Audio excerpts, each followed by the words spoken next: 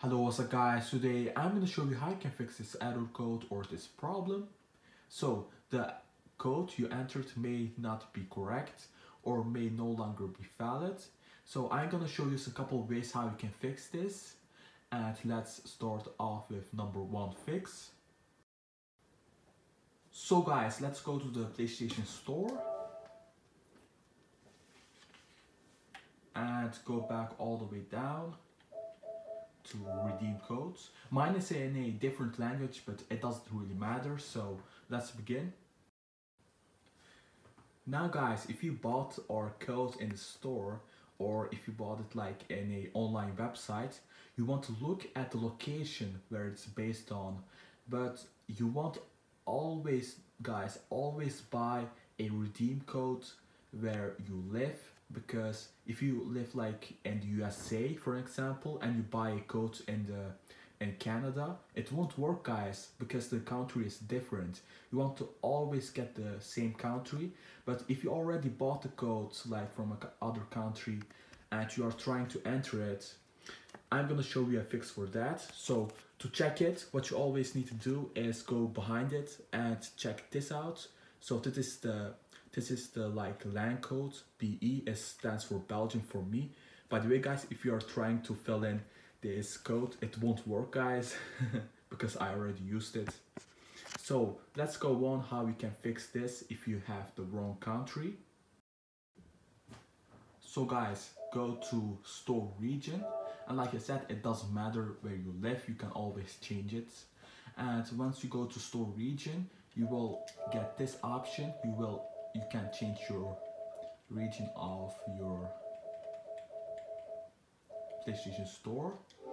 And you want to change it to whatever country where you bought the code on. And if this doesn't work out for you guys you can always call Sony and ask them to change your uh, to change your region. The reason why is because uh, Sony it doesn't allow you to change your location you need to call Sony for that. But guys on the Nintendo and on the Xbox they do allow you to change it. For example I did it on my Nintendo Switch.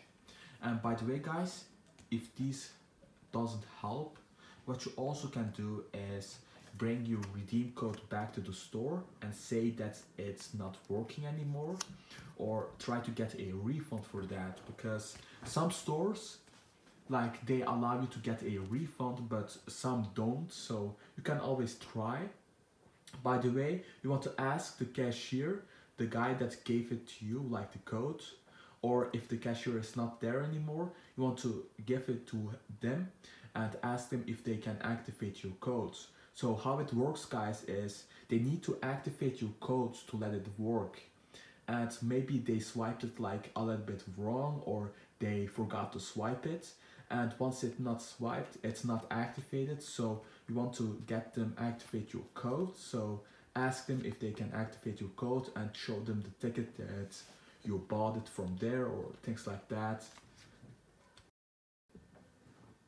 So guys I heard of people that told me they like bought a code and it just didn't work out for them and they bought like from the same country and it still didn't work and they waited like a couple days and it worked for them.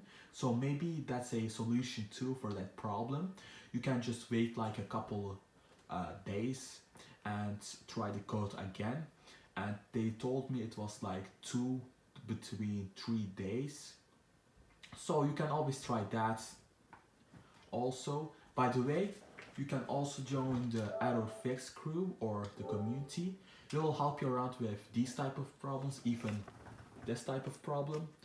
And we will help you around, we'll discuss some problems, things like that. And by the way, um, thanks for watching, please like, subscribe and comment down below. Take care of yourself guys and don't forget to join my community